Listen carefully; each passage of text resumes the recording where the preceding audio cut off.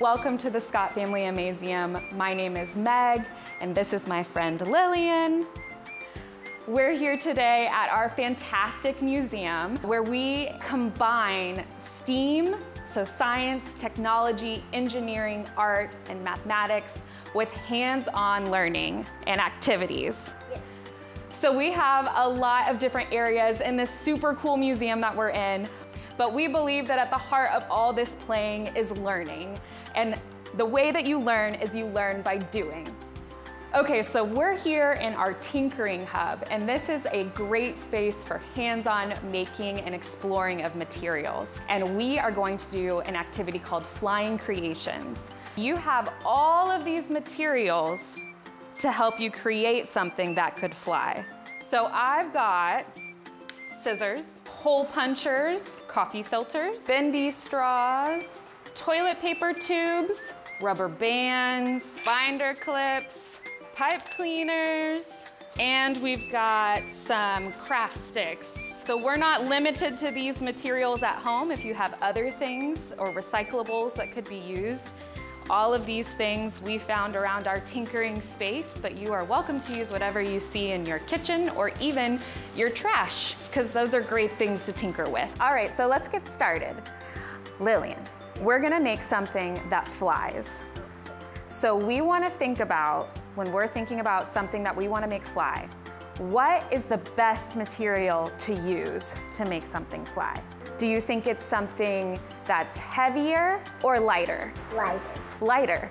Right on, that's awesome. So Lillian told me that she wants to make a dragon type creature. So I think, Lillian, that we need to grab a body and some wings and maybe a head.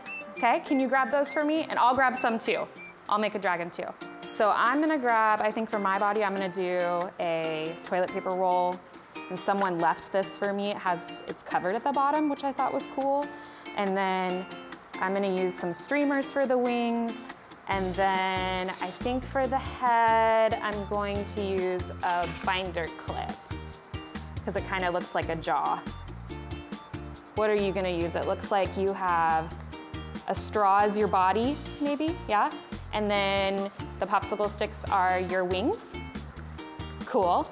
And then, oh, I like how you're using the pipe cleaner to attach your wings to your body. I have to figure out how I'm gonna attach mine.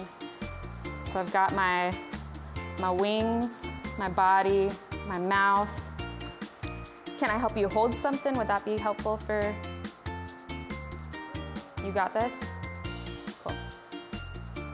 How's the weight of your object? Does it feel like it's a good weight? Think of that feather. Does it feel good? I'm hoping mine will fly. I'm wondering, I don't know if it's gonna fly this direction though, or if it's gonna turn.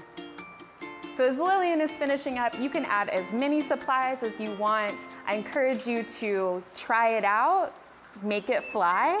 Um, and then come back and change it and try again and see if you can make it better. So I think we should test out our creations. All right, let's head to our wind tube. Yeah, you can try first. Oh, let's see. Whoa, that was so graceful. It flew out. Let's see. I don't know. Mine, yeah, I don't know. I know, it's, it can't decide. Sometimes I feel like it's gonna go. Let's see.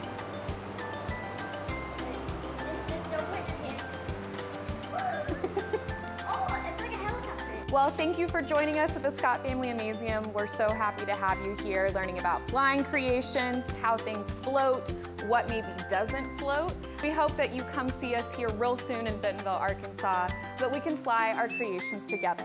Lillian, I think that we need to go play some more. All right, bye.